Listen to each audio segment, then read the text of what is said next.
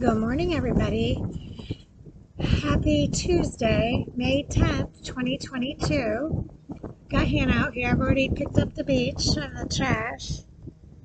Cigarette butts again, you filthy animals. Clean up your cigarettes. The world is not your ashtray. You want to smoke? I don't care. Just don't put them on the ground. Get rid of them properly. Find yourself a can, because they're everywhere, and put them in it. Just saying. It's not hard. Or, or put them out and put them in your pocket and find a trash can. How about that? Sorry, digress. So I'm in 365 gifts. Um, number 130, and it's entitled Good Influences. You were running well. Who hindered you from obeying the truth? This persuasion is not from him who calls you.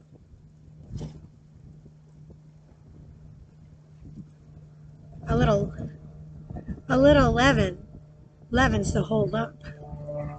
Galatians 5 verses 7 through 9.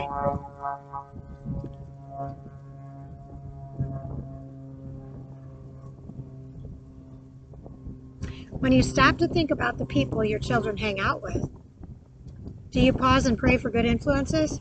I hope to God you do. With so many things tugging at them, kids need friends who will lead them in the right direction no doubt, towards Him.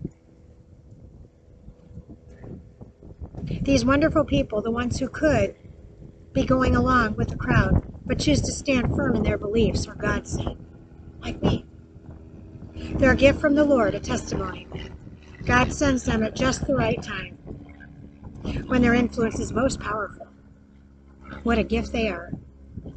And while you're praying for good influences, Pray also that your children will sh shine their lights brightly while at school and play for others to join in with the walk with faith with Jesus. This world needs all the light it can get. After all, look around. Father, thank you for interrupting my son or daughter's life to bring a friend of godly influence.